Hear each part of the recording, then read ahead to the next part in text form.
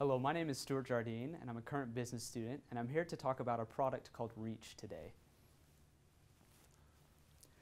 The problem that we've identified as a group is that too many physical therapy patients become disengaged from their long-term therapy exercises. We fear that these patients miss out on a valuable opportunity to gain back a greater range of motion if they were to be more engaged. We also feel that physical therapists could benefit from greater data collection on the progress of these patients. Our solution involves adding gamification to these physical exercises, allowing patients to play games while they're, do while they're doing their exercises. We also believe that these games will allow physical therapists to have greater data to prescribe more efficient treatment and exercises for these patients. Our product is a wearable device that slips over the patient's wrists and, connects to, and can connect to any smart device. This smart device will then upload a game that this, these patients will play while they're doing their exercises.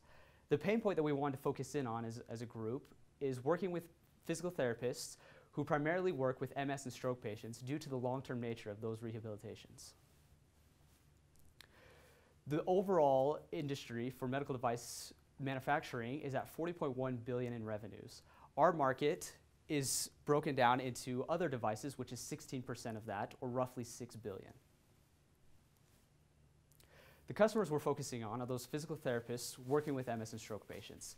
Physical therapists as an industry in the United States is expected to grow by 5% annually for the next 10 to 15 years. It's also reported that over 795,000 people suffer a stroke each year, and that 2.3 million people suffer from MS worldwide. The main driver of this market is due to our aging population. This aging population will increase demand for physical therapy re rehabilitation, which will in turn drive up healthcare costs. The main players in this industry, such as Johnson & Johnson and GE, have yet to come out with a product that's similar to ours. Our main competition stems from various other innovative startups with devices such as these that cost more and are more complicated than the simple device that we offer. Zachary Wild, one of our head engineers, will now discuss more about our product. Rehabilitation with the wReach device is simple and straightforward.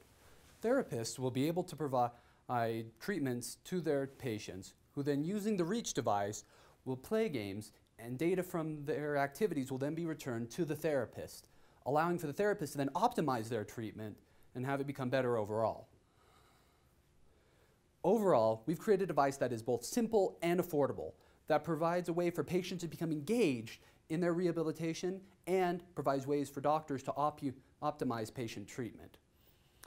Cost of the prototype came in at around $200. However, production costs are estimated to come in at under $100. I'm Zachary Wild with our product wReach.